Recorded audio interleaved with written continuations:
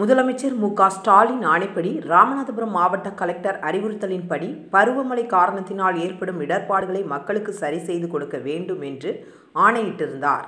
இதன் அடிப்படையில் ராமநாதபுரம் மாவட்டம் கீழக்கரையில் கழிவுநீர் கால்வாய் அடைப்பு மழைநீர் தேக்கம் போன்ற இடங்களை அரசு அதிகாரிகள் பார்வையிட்டனர். கீழக்கரை முழுவதும் கால்வாய் அடைப்பு ஏற்பட்டுள்ளதால் கழிவுநீர் சாலையில் வரக்கூடிய சூழல் ஏற்பட்டுள்ளது. அதை சரி செய்வதற்காக ஆய்வு செய்யப்பட்டது.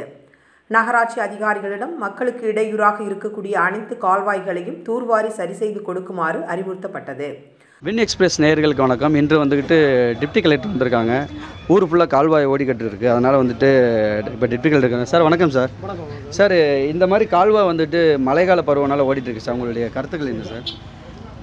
மாண்புமிகு தமிழக முதலமைச்சர் அவர்களின் அறிவுரையின்படியும் நமது மாவட்ட ஆட்சித்தலைவர் அவர்களின் அறிவுறுத்தலின்படியும் வடகிழக்கு பருவமழை தொடர்பாக இன்று ஒருங்கிணைப்பு பல்வேறு துறைகள் சார்ந்து ஒரு ஒருங்கிணைப்பு குழு கூட்டம் நமது கீழக்கரை வருவாய் வட்டாட்சியர் அலுவலகத்தில் வைத்து நான் நான் டிஎஸ்ஓவும் ஏசிஎக்ஸ்எஸ் அவர்கள் தலைமையில் இன்று ஒரு குழு கூட்டம் நடத்தினது. ஆய்வு அந்த ஆய்வு செய்யப்பட்டு இன்று கீழக்கரை நகராட்சி அலுவலகத்தில் ஒவ்வொரு வார்டாக கழிவுநீர் வாய்க்காலை பார்க்கும்போது மண் அக நிறை கால்வாய் பகுதியில் பாட்டில்கள் உணவுப் பொருட்களின் கழிவு போன்றவற்றை கால்வாயில் இடுவதால் அடைப்பு அதிகம் ஏற்பட்டுள்ளதாக சொல்லப்படுகிறது.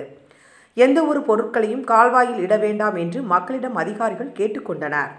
இதில் உதவி ஆணையர் குருச்சந்திரன் மாவட்ட வளங்கள் அலுவலர் மதிவாணன் வட்டாட்சியர் முருகேசன் மண்டல துணை வட்டாட்சியர் பழனிக்குமார் சுகாதார ஆய்வாளர் பூபதி மற்றும் அரசு அதிகாரிகள் உடனிருந்தனர்.